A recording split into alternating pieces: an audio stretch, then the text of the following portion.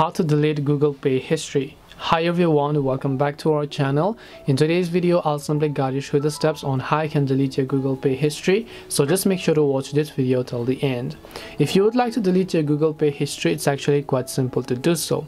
All you have to do is just go ahead and then make sure to launch the Google Pay application here.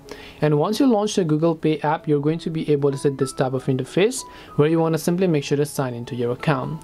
Once you're on the home page, if you basically scroll down to the recent tab and then you tap the view all option, you'll be able to see a list of people that are available over here. And maybe that you just want to go ahead and delete all this transaction history. Can you do that?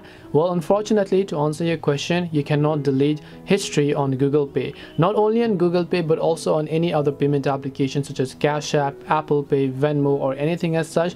None of the payment applications are going to delete your history because they always must remain there for security and privacy concerns as well. Later on if you just face any kind of trouble and then you can just show that you have made a certain transaction in that case this transaction history is actually going to get applicable. The only way to delete your history is to simply delete your account itself. So hope this video helped you answer the question. If it did help you make sure to leave a like and subscribe to our channel. If you have got any questions feel free to leave them down. Thank you for watching and see you soon in the next video